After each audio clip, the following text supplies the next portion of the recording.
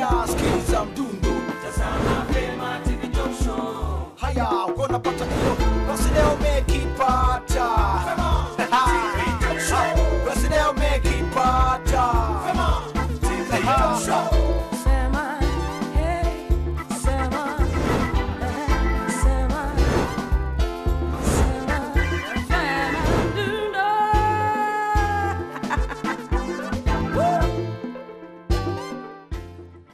tukizungumza masuala mengi sana yanayowakabili wasichana nchini Tanzania na binti Tanzania hapo tunaona huyo binti ripota wa sita eh? amekuwa akiwakilisha mabinti wengine nchini Tanzania, na imekuwa ikinishangaza sana, kila mwaka idadi ya wasichana wanaopata ujauzito na kuacha shule imekuwa inaongezeka nchini Tanzania. Sijui mnafahamu hilo mm? Ni kweli. Yeah. yeah. Ndio maana mimi saa nyingine najiulizaga ni wapi ambapo tunakosea labda. Swali zuri, lakini najibu. Unaweza pia nao ukawa unajibu. tunakosea wapi? Inawezekana wazazi na jamii kwa ujumla ndio sababu kubwa ambayo inapelekea hawa mabinti wa Kitanzania kupata mimba za utotoni. Mm. Mimi nafikiri labda tamaa zetu sisi wenyewe wasichana. Umerudisha kwetu. Mimi kama Sisi ndio wakulaumiwa. Ehe. tusihangaike sana kuzunguka huko mbuyu nini kitu iko hapo chini tuna macho hata pua tunazo tunusi. Twende tufunge safari twende huko lindi tukafanya utafiti zaidi ili tuweze kujua yani tatizo liko wapi. Tukibisana bisana hapa kila mtu ana swaga zake humu. Kweli kabisa, utafiti ndio kitu pekee inachoona kinaweza kikatupa majibu ya swali letu ili kwamba nani alaumiwe, tunakosea wapi. Lakini pia mfahamu, unajua Lindi ni moja ya mikoa Tanzania ambayo bado ina namba kubwa zaidi ya wasichana ambao wanaacha shule kila mwaka kutokana na ujauzito. Mnafahamu hiyo? Eh, leo nawapa nondo tu nini? Nilikuwa hamjui. kwa sababu sio mkoa wako. Mimi nimeishi lindi sana lakini hiyo tatizo mwenzenu wala sijaliona. Tunataka sana jamani.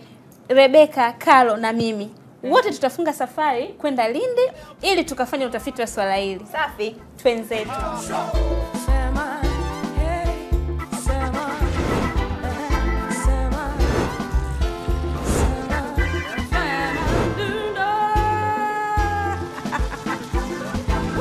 Nitapata fursa ya kuingia mtaani kwenda kuwahoji wakazi wa mkoa huu wa Lindi kuhusiana na masuala ya mimba za utotoni.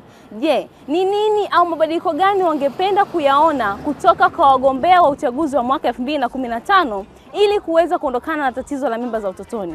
Bila kupoteza wakati, ungana nami ninapoingia mtaani kuwahoji na kusikiliza maoni yao mbalimbali kuhusiana na tatizo hili. Shule zenyewe sasa hivi ziko mbali, shule kilomita mbili. Usafiri kama sehemu ya usafiri, basi apewe usafiri, baskeli au hela ya daladala, sababu wasichana sasa hivi wanaharibika kutokana kama hivi, anaenda shuleni wa miguu, anakutana ana bodaboda, twende dada, anampeleka siku mbili tatu, anatongoza, basi lazima achukue makubaliano kwa Zingechukuliwa hatua kali za kisheria zena akapelekwa jela zaidi ya miaka 30 tena kupitiliza.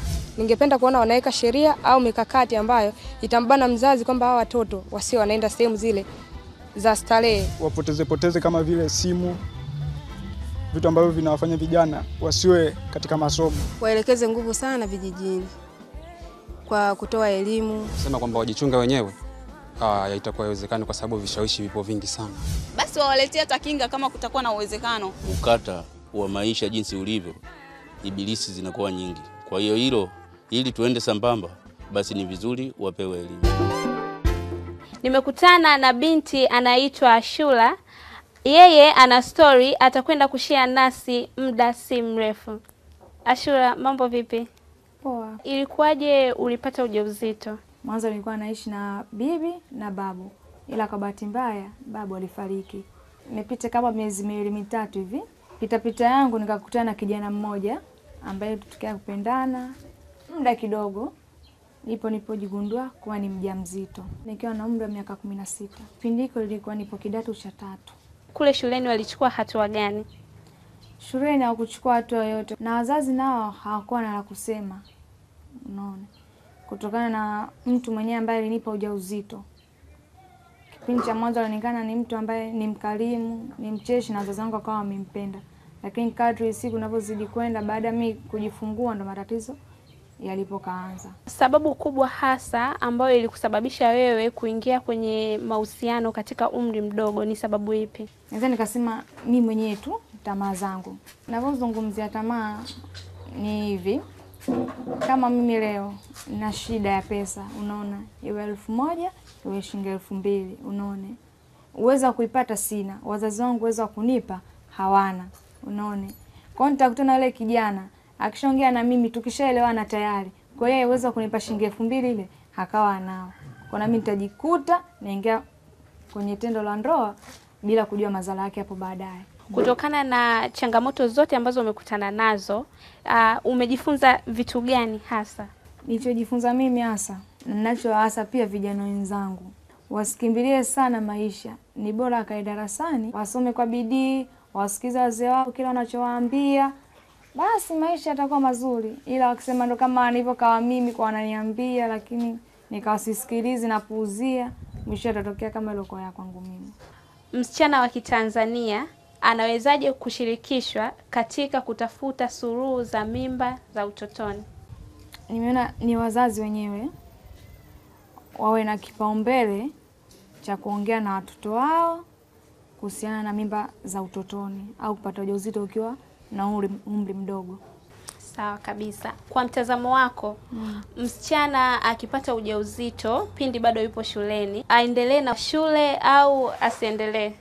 Kwa mtazamo wangu mimi, ningependa aendelee na somo kutokana na hali ile ambayo atakuwa nayo, itakuwa amejifunza vitu vingi sana. Hata mi mwenyewe napenda hata kesho niendelee na elimu ili iweze kupasi, ili niweze kumsaidia mtoto wangu kwa baadaye, kwa sababu naye atahitaji elimu.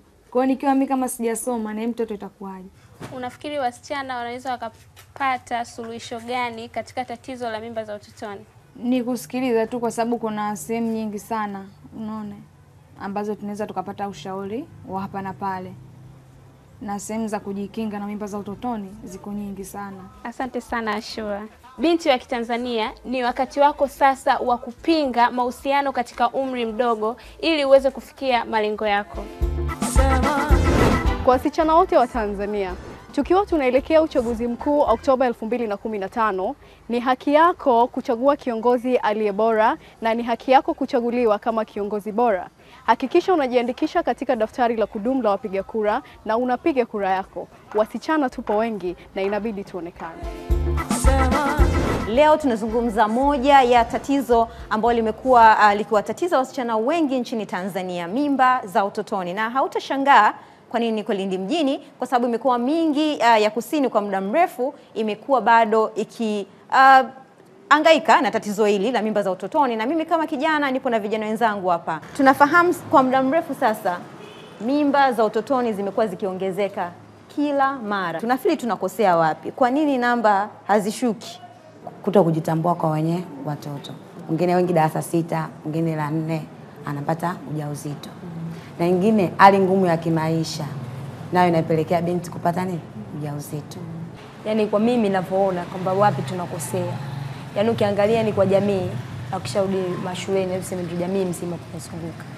Yaani mimi naona elimu, elimu ni tatizo kubwa sana, na vile vile ukiangalia sisi wenyewe yaani kwa vijana tunaonaga ile aibu, na sijui kwa sababu hatujitambui au vipi, kwa sababu unavyoona mwenzako anaenda anasikiza sehemu fulani, kabla wanatoa elimu ya afya uzazi, mtu anashindwa kusogea. Tamaduni zetu na mila zina nafasi pia katika hali ambayo tunayo sasa hivi. Mnafili vitu kama jando na unyago vina nafasi gani kwenye kupunguza au kuongeza tatizo hili la mimba za utotoni? Nikusikia kwanza Rashid. Mimi nikichukua kwa mfano upendo wetu sio wanaume. Mm. sisi tukishaenda kuna kwamba uwe jasiri, labda msichana sijui usimwogope.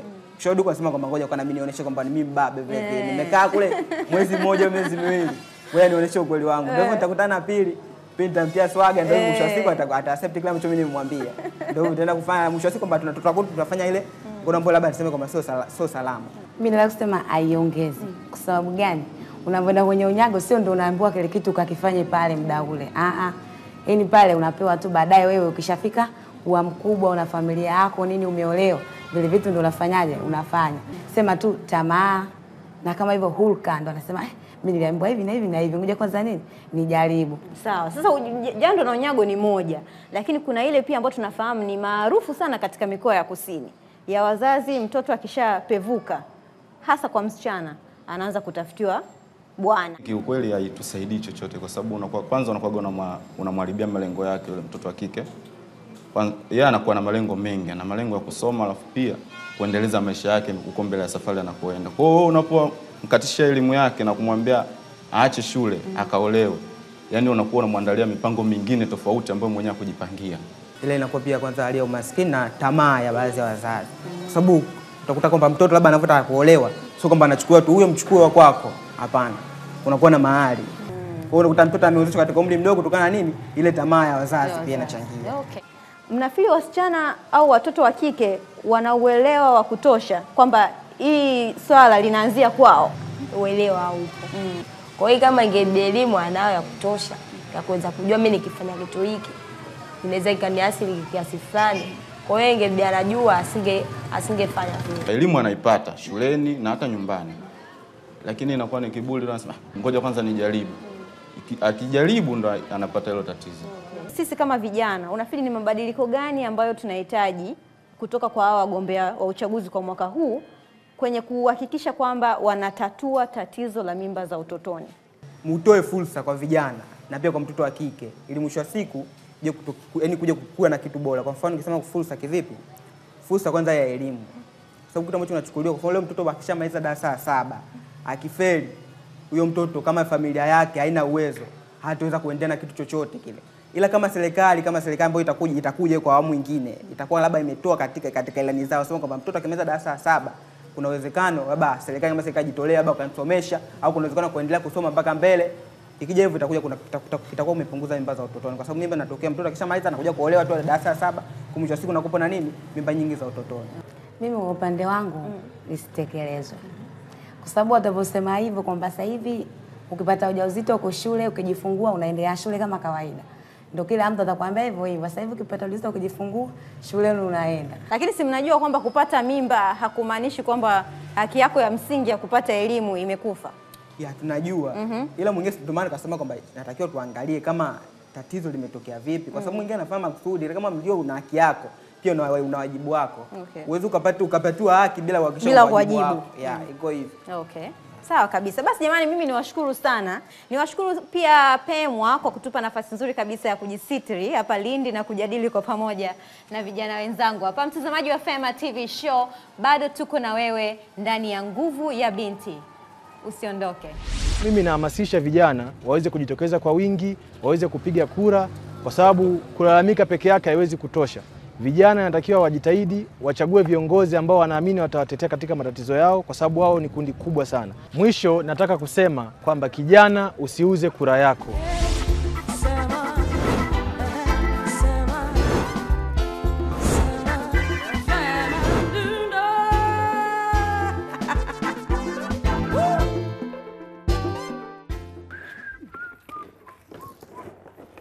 huu mzigo nataka niufunge barabara. Ukifika kwa, kwa Chidi Dangote, Chidi Dangote akampa Anko Mapunda ampelekee Amani Salum, ufike barabara. Hey, binti yangu Tunu, usiniona hivi, mimi baba yako nina nguvu, nina nguvu ya ajabu. Ah, mimi nina nguvu ya binti na nguvu ya ubaba. Kwani wewe una nguvu gani? Mimi na nguvu ya binti. Una nguvu ya binti? Wewe wewe wewe wewe. Basi tuone sasa nani zaidi, mimi mwenye nguvu ya ubaba na ubinti au wewe mwenye nguvu ya binti? Tuone nani zaidi. Kumbe wewe una, unaleta masiala kwenye mchezo. Ngoja kwanza, mzigo kaa pembeni, hapa ni vuta ni kuvute. Shinda wewe. Haya, tuone kama utanishinda. Twende sasa. Eh, Nimekwambia kweli wewe una nguvu ya binti. Hebu kaa hapa vizuri. Wewe kweli una nguvu ya binti, unanishinda mimi baba yako. Hiyo nguvu ya binti uliokuwa nayo uitumie kwenye kujitambua. Wewe ni nani, uko wapi na unakwenda wapi, ili ikusaidie kujiepusha na tabia hatarishi. Umenielewa? Yeah, baba. Sasa ngoja nikutege, ngoja nikutege kwa dondoo nilizokupa binti yangu. Niambie wewe, timu gani? Timu sidanganyiki au timu nadanganyika? Timu usidanganyiki. Aha. Timu usidanganyiki ina faida kubwa. Ng'ang'ana hapo hapo, ng'ang'ania, ng'ang'ang'ang'ang'a. Umenielewa? Baba. Ah, umenielewa. Safi kabisa. Sasa chukua hiyo kamba na mzigo, peleka store. Haya, nenda Ah, ah. Sasa naongea na wewe, binti ya mwenzio ni binti yako, usimimbe, na wao wana ndoto zao za kuzitimiza. Umenielewa? Unakodoa macho mwana yake ni Aya.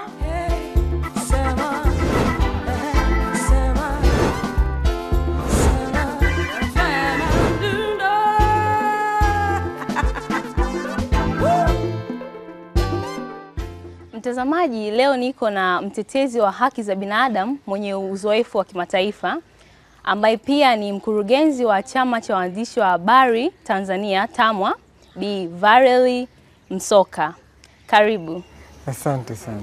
Je, kwa mtazamo wako unafikiri hali ikoje hapa nchini kwetu kuhusiana na hili tatizo la mimba za utotoni? Kimsingi hali si nzuri, na kwa sababu hakuna takwimu za mwendelezo, lakini tukiangalia kwa hizo zilizopo, hali si nzuri, kwa sababu ukifikiria takriban watoto zaidi ya elfu uh, ishirini wa kike wanaacha shule kwa sababu ya mimba. Kwa hiyo unakuta kwamba kuna hii asilimia ambayo hawa watoto wamekosa ule msingi wa maisha. Unafikiri kwa kiasi gani tumeweza sisi kama Tanzania tumeweza kufanikiwa katika vita dhidi ya mimba za utotoni na swala la ndoa za mapema kwa wasichana? Mafanikio unaweza kupima kwa njia mbalimbali, kwamba sasa hivi hili swala linazungumziwa. Awali ilikuwa halizungumziwi, ndoa za mapema za utotoni pia lilikuwa lilizungumziwi, lilikuwa ama ni swala lipo pembeni ama halina umuhimu. Sasa hivi lina umuhimu. TAMWA imejikita sana kwenye vyombo vya habari na nguvu yake iko katika vyombo vya habari. Kwa hiyo utakuta kwamba mikakati yetu inalenga maeneo yanayohusu mwanamke na mtoto wa kike. Tunaangalia mtoto wa kike kuhusiana na mimba, iwe za utotoni au mashuleni. Tunaangalia masuala ya ukeketaji na tunaangalia ndoa za utotoni. Kwa hiyo tunavyokwenda sasa, lazima tuangalie tuwe na mafanikio yepi zaidi. Sheria ziangaliwe ambazo zinatoa uh, fursa tuseme kwa ndoa za utotoni. Tuna sheria ambazo za sheria ya mwaka sabini na moja mtoto anaweza kuolewa kwa umri wa miaka kumi na nne ama kumi na tano kwa ridhaa, lakini hatakiwi kuolewa kwa ridhaa yoyote umri huo, kwa sababu ni mtoto.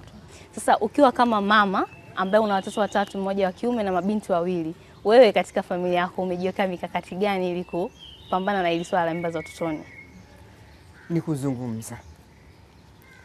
Utaona sasa hivi na takwimu TAMWA aliyofanya elfu mbili na kumi na mbili iliona katika mazingira ya shule hakuna swala zima la maadili la kufundisha watoto maadili na maswala mazima ya mwili wako na maswala mazima ya athari, kwa sababu unakuta mwingine anapopata mimba pale akiwa mdogo unakuta wengi hawajui matokeo yake. Lakini pia lingine ni kwamba pale wewe unapokuwa mtoto halafu unalea mtoto mwingine, zile hatua za kama usichana wako huzipitii tena, kwa sababu tayari umejipa jukumu eh? Kwa hiyo kimsingi, tunapozungumzia masuala ya maadili, tusiseme tu tuwape tu watoto wa kike, tuwape vijana wetu wote, kwa sababu hawa wanaishi pamoja. Mabinti wa kike sasa hivi wanakutizama, wangependa kujua ni taasisi zipi husika wanaweza kwenda ili kuweza kupaza sauti zao kuhusiana na changamoto mbalimbali wanazozipata ambazo wakati mwingine zinawapelekea kuingia katika ndoa za utotoni au pia hata katika mimba za utotoni. Nitaanza na TAMWA kwa sababu TAMWA tuna kituo cha usuluhishi na hapa tunatoa ushauri na saha na ushauri wa kisheria. Kwa hiyo hapa ni nafasi mojawapo ambayo iko wazi, na ndio maana kutokana na hawa watoto kuja, tumeamua sasa kwenda mashuleni kuzungumza. Lakini pia sasa hivi uh, katika polisi, vituo vya polisi kuna dawati la jinsia, alafu pia kwenye ofisi za ustawi wa jamii pia kuna washauri pia wanaweza kwenda. Hili ni jambo ambalo lazima liwepo kusudi watoto hawa waweze kwenda. Ni mabadiliko gani ungependa kuyaona yanafanywa na wagombea wa uchaguzi wa mwaka 2015 ili kuweza kutatua tatizo hili la mimba za utotoni? uthubutu wa kuweza kusimama jukwaani na kusema kwamba mimi nitahakikisha jimboni mwangu ndoa za utotoni nasimamia, napigania ziishe. Uthubutu wa kusema nitaangalia sera na sheria zilizopo ambazo zinamathiri huyu mtoto wa kike tuweze kuziondoa. Asante Bi Valerie Msoka.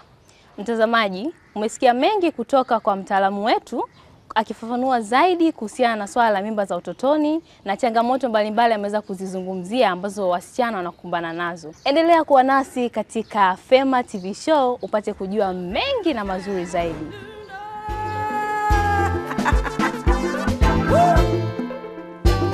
Ni kweli mimba za utotoni ni tatizo kubwa sana katika taifa letu. Nikiwa kama kiongozi mkuu tena mwanamke, ni tatizo ambalo linanigusa kwa kweli, na tunatakiwa tuangalie namna tutakavyolitatua hili tatizo, lakini pia tuangalie nini kinasababisha eh, na kwa nini ikiwepo, madhara yake ni nini, na mwisho tuangalie namna ya kulitatua. Ningejaribu sana kusimamia hili swala kwamba shule za sekondari tuhakikishe kwamba zinakuwa na mabweni. Ni namna gani tuta, tutaweza kupatia shule zote za sekondari mabweni? Ni mkakati tu. Kuna NGO nyingi sana zinazoshughulikia mambo ya wanawake, ziko nyingi, lakini huu mkakati sijauona ukiwa rasmi kama ilivyo hamsini kwa hamsini kwa wanawake. Tumesimama tumepigana mpaka tumeipata kwenye kat- katiba inayopendekezwa in case kama itapitishwa. Uwakilishi wa wanawake tumeupigania sana pia ni, yani nikajaribu kusimamia hata hili tatizo la mimba za utotoni kwa wanafunzi tunalishughulikiaje? NGO zile zote ambazo zinashiriki mambo ya wanawake, mimi ningezishawishi tukakaa pamoja, tukajenga mkakati wa pamoja wa kuangalia hili tatizo tunalisovuje, tuhakikishe kwamba shule zinakuwa na bweni. Lakini pia lingine la msingi ambalo ningeshawishi ili hii hali ipungue, kwa sababu wengi wa watoto hawa wanakuwa ni wanafunzi aidha ametolewa shule akaolewa au amepata mimba akiwa shule kutokana na matatizo mbalimbali aliyoyazungumza. Mimi ningeshauri kwamba katika mitaala ya elimu basi kungewekwa elimu ya malezi na jinsia ambayo ingewasaidia watoto, na hii elimu ianzie darasa la tano, ambapo ndo kipindi kile mwanafunzi anapevuka aweze kujitambua na, na kuelewa nini kinachoendelea katika umri huo. Ukimfundisha la tano, la sita, akimaliza la saba atajitambua. Kwa hata hii changamoto ata, atajua namna ya kuepuka. pema TV Show, nguvu ya binti.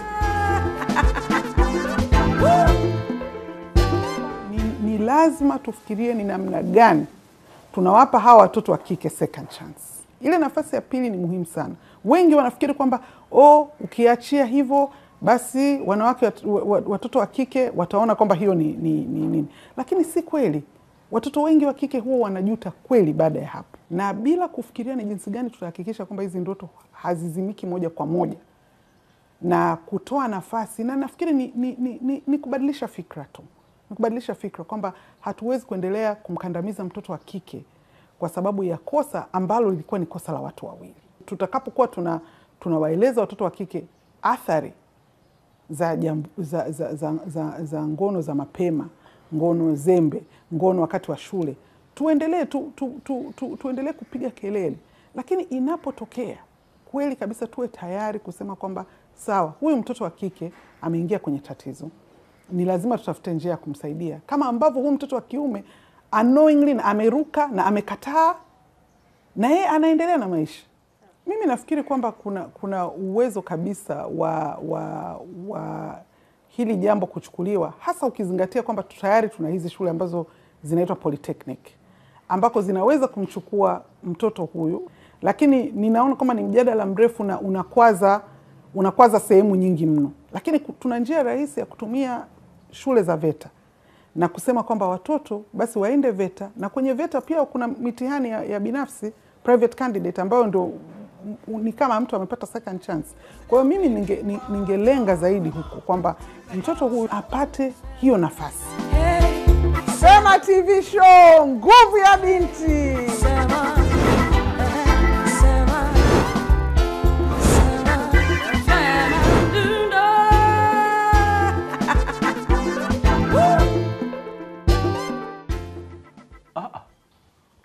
Kwani huyu Bahati kaenda wapi? Kaenda wapi? Angoja, kwani kaenda wapi? Kaenda wapi? Eh, na zawadi ziko za kutosha. Sasa kila siku hawa, yani kila siku hawabahatishe yeye tu, haiwezekani. Ni kutwangia mazawadi. Eh, mi nagawa tu mazawadi leo, lakini iwe siri yenu. Akija hapa mimi simo, msiseme kama nimegawa zawadi. Mmenielewa? Eh. Mshindi wa kwanza, mshindi wa kwanza anaitwa Ana Godfrey kutoka Ifakara. Ifakara Morogoro, sehemu gani? Hujasema. Lakini wewe ndio mshindi wetu wa kwanza. Umejishindia, unajua kwa sababu gani? Umetiririka vizuri. Mtiririko wako uko ndani ya mtiririko. Umenielewa? Ninakutwanga kanga, ninakutwanga t-shirt na majarida na kumwagia. Umenielewa? Hey. Na mshindi wa pili anaitwa George kutoka Mwananyamala, Dar es Salaam. Hujasema Mwananyamala sehemu gani? Kwa bibi, kwa nani? Hujasema. Lakini hata wewe nakupiga t-shirt. Na mshindi wa tatu ni Moses T Sabibi kutoka wapi? Kutoka Sumbawanga Ruko. Na wewe hujasema Sumbawanga Ruko wapi? Sehemu gani? Na Manyere eh, kule bondeni, ziwani, wapi? Hujasema. Lakini hata wewe nitakutwanga t-shirt, utang'aa kama mimi eh? Sasa swali letu la leo unajua linasemaje? Aha, ngoja kwanza kabla sijaenda kwenye swala la leo, na jinsi ya kupata hizi zawadi nitawatwangia mimi mwenyewe. Nitavuta waya na kuwatwangia kwamba mko wapi, alafu nawatwanga zawadi zenu. Sasa swali letu la wiki hii linasemaje? Swali letu la wiki hii linasemaje? Linasema kuelekea uchaguzi Oktoba elfu mbili na kumi na tano ungependa kuona nini kinafanyika ili kuondoa tatizo la mimba za utotoni? Ninarudia tena, kuelekea uchaguzi Oktoba 2015 ungependa kuona nini kinafanyika ili kuondoa tatizo la mimba za utotoni? Sasa jinsi ya kujibu haya maswali, kutoa maoni na kushiriki mjadala mbalimbali, kodolea runinga yako, kuna kila kitu, maelezo yote. Kodolea runinga, andika, tutumie wewe ili umwa, upate haya mazawadi, sio ya kwangu. Ah, naongea sana, kwani kitu? Nisije nikabambu hapa, kwani kitu gani hicho eh? Haya, sikiza mdundo, tazama Fema Television Show. Haya, uko unapata hiyo, basi leo umekipata. Basi leo umekipata. Television Show. Sema,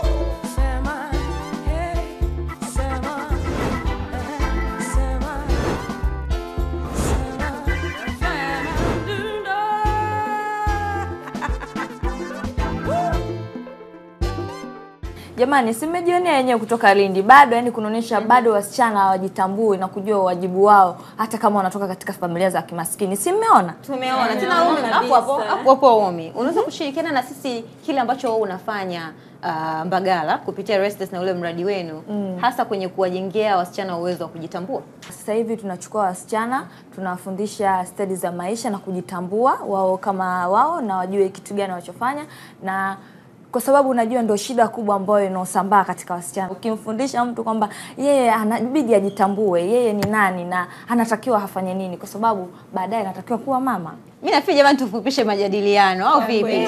Sisi, sisi tulioenda Lindi, nyie mliobaki, kwa pamoja wote tumejifunza au vipi? Cha msingi nachoweza nikasema, na kwa mtazamaji pia, ni lazima tuhakikishe ajenda hii ya mimba za utotoni inaingia kwenye ilani ya uchaguzi ya vyama mbalimbali, au sio jamani? Yeah. Yeah. Na pia kusisitiza, wasichana tuko wengi, na hivyo basi inabidi tuonekane. Ni wajibu wako na haki yako kupiga kura. Piga kura kwa amani. Kura yako ni muhimu. Usiuze kura yako. Kura yako Chaguo lako. Haya, sikiza mdundo, tazama Fema Television Show. Kuna madaraka mwingine haruhusiwi kushikamata mwanamke Lakini kura yangu pia nayo ni muhimu. kwa dijitali. Mwanamke anaweza akaongoza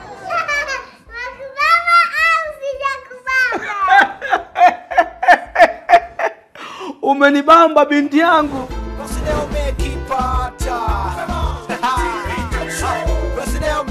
Come on, TV show.